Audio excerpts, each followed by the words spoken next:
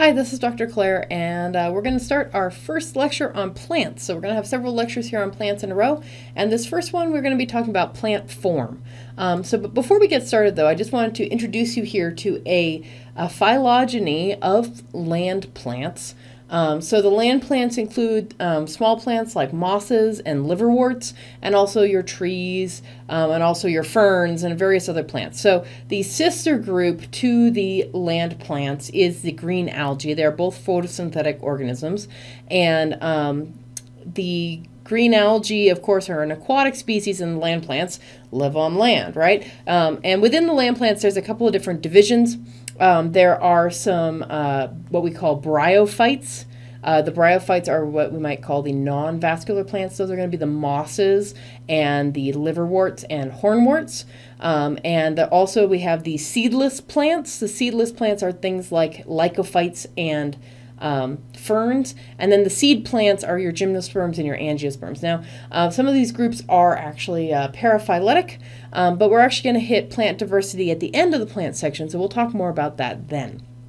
All right, but um, all of these plants do live on land, and so there's several adaptations that a plant needs to live on land. For one thing, um, a algae is completely supported by the water around it, so it doesn't need a whole lot of structure. If you've ever seen an algae, some algae on a beach or something like that, it's very floppy. It's just lying flat. It doesn't have a lot of structure. So the shoot or the part that's above ground of the land plant needs to have a greater structure in order to support itself without the support of the surrounding water.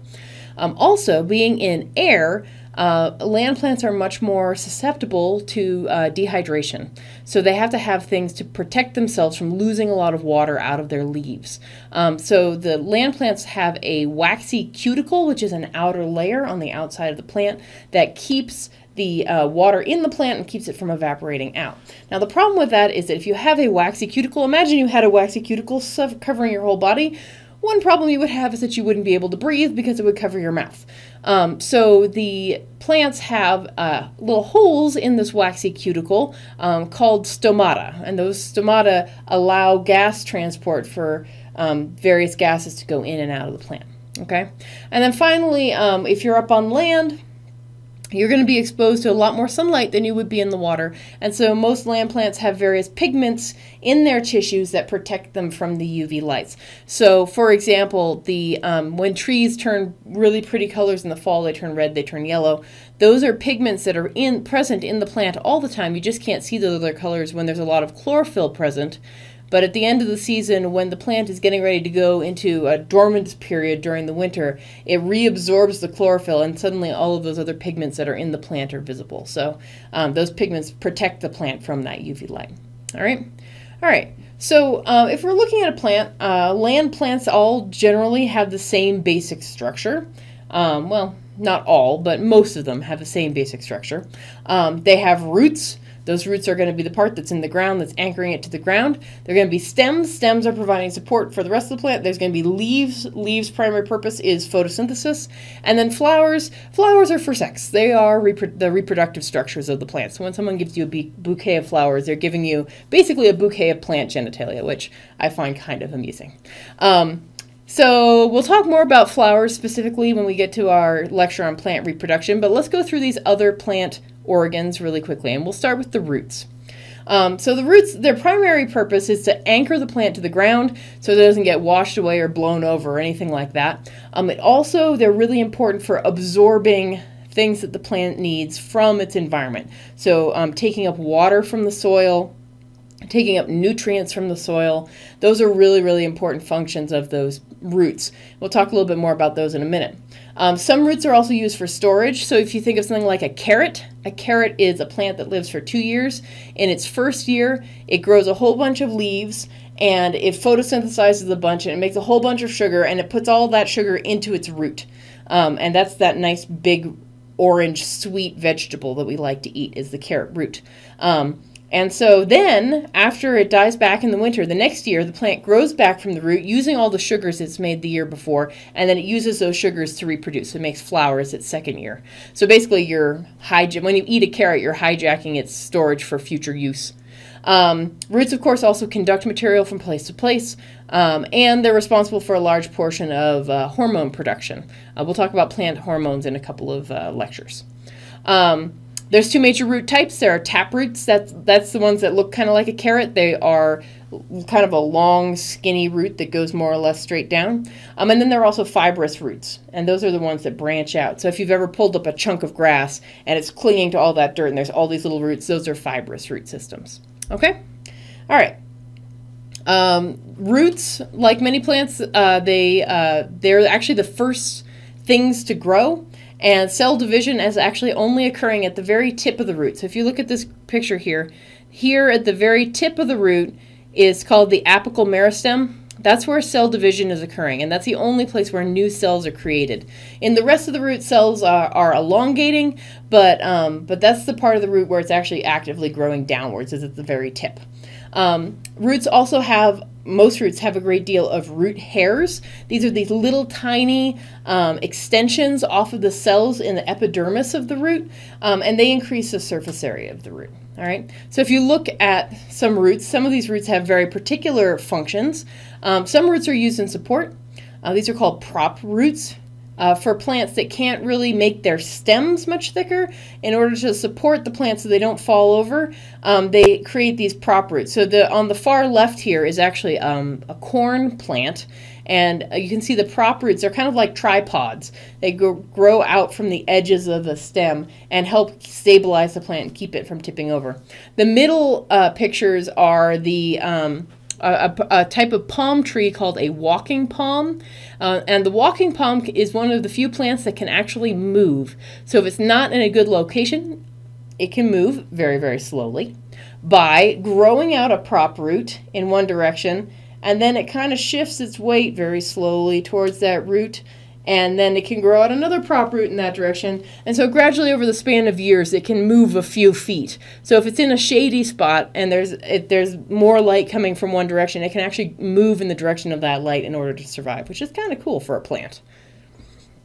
All right, so one of the major functions I said for plants is um, water and nutrient uptake from the soil. So plants have a couple of different ways where they can increase the efficiency of their uptake. One is all of those root hairs. So uh, the picture here on the right is a picture of a root with many, many, many little root hairs growing off. That increases the surface area of the root and allows it to take up more nutrients. Okay? Um, other things that plants can do to uh, increase the rate at which they absorb nutrients is actually to have associations with other types of organisms that help them to take up nutrients. So many plants have um, beneficial associations with a with fungal species, with a fungus um, called mycorrhizae, and these mycorrhizae actually live um, on and around the roots. And the, some fibers of these mycorrhizae will actually penetrate into the root and that again increases the surface area of the root allows it to take in more nutrients. And then what the plant does for the fungus is that the plant provides food. So the plant is photosynthesizing it's making a bunch of sugar and so it feeds the fungus and then the fungus helps it to absorb minerals and water from the soil. So it's beneficial for both the fungus and the plant um, and so if you look at the picture on the left in the bottom here you can see two plants one grown in the absence of mycorrhizae and one grown with mycorrhizae you can see the plant that's grown with mycorrhizae does much, much better than the plant with, in the absence of mycorrhizae. Um, another uh, organism that plants can form an association with is bacteria. Um, and you might remember from the bacterial lecture that we had that bacteria are the only organism that can fix atmospheric nitrogen into a form that can be used by other organisms. So it takes um, nitrogen gas, N3, uh, uh sorry, N2, breaks it apart and can turn it either into ammonia or nitrate. And these are things that plants can use to build proteins and stuff like that. So um, these these uh, nitrogen fixing bacteria will actually live in specialized structures on the roots of the plant. Um, and the, again, the bacteria is providing these nitrogen based compounds that are beneficial to the plant. The plant provides sugar to those bacteria, so that's beneficial for them. So both benefit. So if a plant is in a low nitrogen environment, what actually will happen is that a little root hair will start growing out the side of the root. And the root hair can actually sense where those nitrogen fixing bacteria are in the soil. And it'll grow towards them and actually grow around them and engulf them and then take up those bacteria and form this little nodule. And uh, plants will only do this when. Um, when nitrogen conditions are poor. So they'll do this if there's not very much nitrogen in the soil. They'll actively take up these these bacteria in order to help them. But it's kind of energetic because you have to build this little place for the bacteria to live. So if they do, if they have enough nitrogen, they don't won't normally do this. Okay. All right, moving on to leaves. So the main function of leaves on a plant is photosynthesis. They're making the food.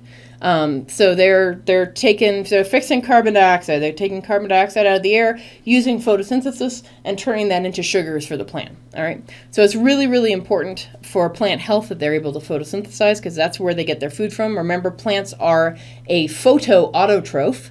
Um, and so that means that they get their energy from the sun and they fix carbon into their own sugars, so they make their own food. Um, and so the if you look at um, at a particular leaf. Uh, they tend to be very broad and flat, and that's so that they have a wide surface area for photosynthesis to occur. Lots of places for sunlight to strike that leaf. And so that flat, wide, flat part is called the blade, and then it's attached to the leaf with a little stem, and that's called the petiole. And some plants can actually shift their, the, the, their leaves around depending on the angle of the sun so that they're putting the flat part of their blades right to the, the sunlight to get the most energy that they can. some leaves have other functions. Um, so there are leaves that are specialized for storage of nutrients. So an onion is actually a bunch of leaves. Um, and if you think about it, if you let an onion go bad, what grows out of it? Bunch of green leaves shoot out the top, right? So that that that's that lets you know that that's what that thing is made up of. So there is a little bit of root. There's a little root knobby thing. This at the very very bottom is actually roots, but the rest of this whole onion is leaves that's storing sugar for future use of the plant.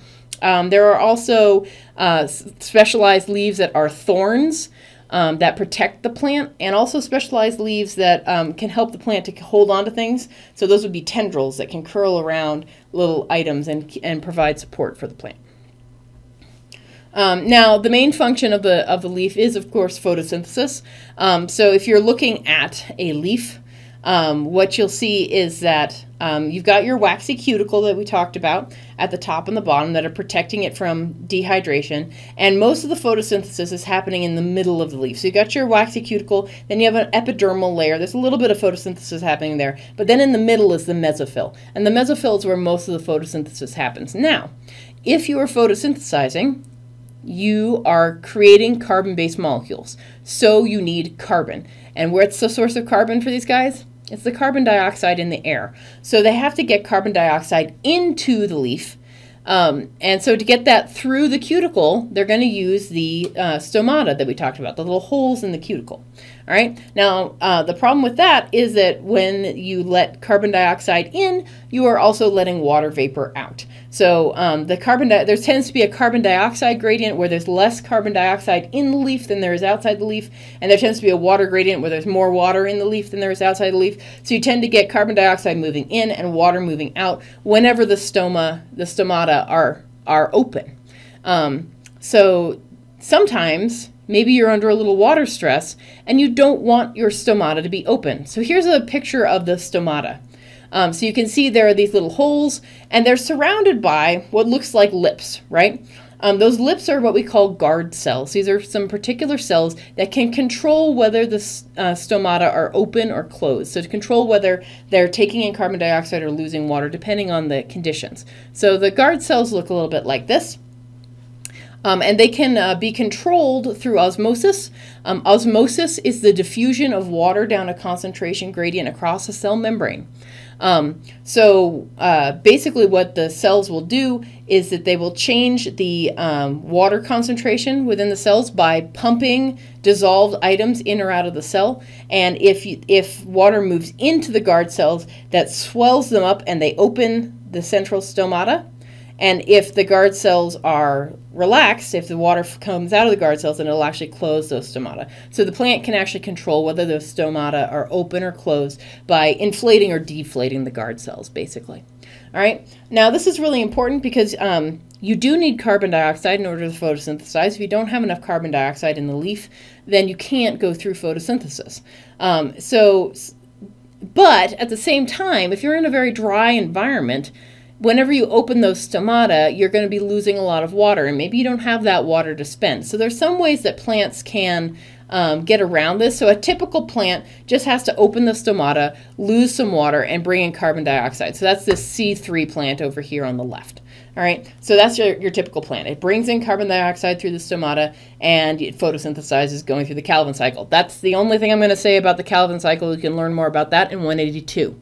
Um, but some plants, if they're in a really dry environment, might have uh, might not want to have their stomata open so much because they're losing too much water. And so there are C4 plants and CAM plants that have ways to um, concentrate the carbon dioxide or take it up at, during a time when uh, they lose less water to do so. So, for example, the C4 plants what they do is they take in carbon dioxide and they turn it into a different carbon based molecule as soon as it comes in.